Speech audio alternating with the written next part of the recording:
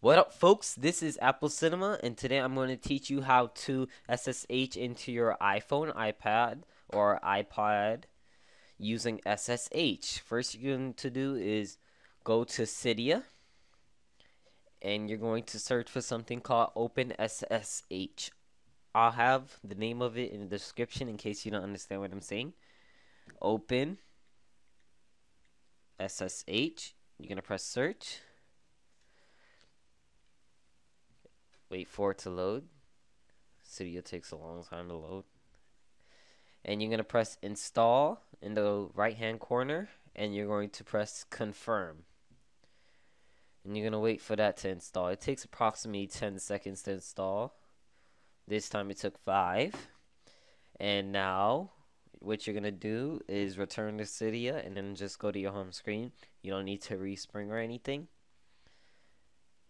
and now you're gonna head on over to your computer and download if you're running Windows you're gonna download something called WinSCP. I'll have the link for it in the description. It looks like this and if you're on Mac you're gonna download something called CyberDuck. And if you're a Windows user you're gonna go ahead and open up WinSCP.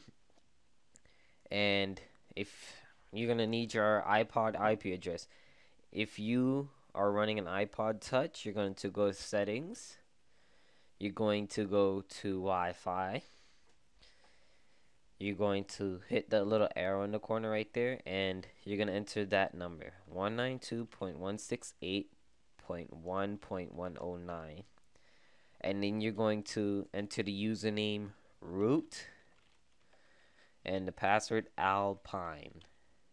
And also, if you guys are running an iPhone, you could just go up top and slide it like that, and then it shows up your IP address. Now you're going to press login. Wait for it to connect, and now that it's connected, you have now SSH into your device. Thank you for watching. Rate, comment, and subscribe for more videos and tutorials.